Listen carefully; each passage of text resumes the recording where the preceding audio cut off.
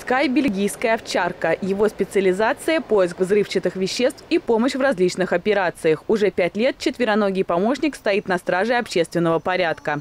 Поступают сообщения на электронные почты, на, ну, звонят на горячие линии банков, заправок, э, очень много общежитий. Что у нас еще есть?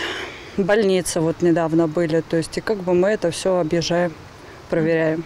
В День кинолога сотрудники Немчиновского отдела полиции провели показательные занятия. Ежедневно они вместе с собаками принимают участие в спецоперациях, проверках и спасательных экспедициях. Прежде чем поступить на службу, животные проходят тестирование. Обучение начинается с социализации и привыканию к кинологу.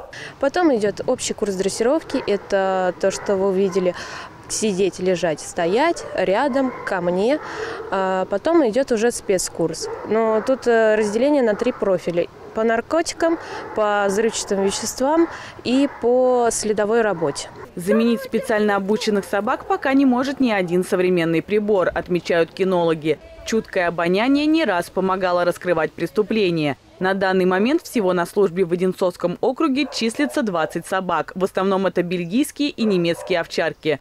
Екатерина Крамер, Станислав Трифонов, телекомпания «Одинцова».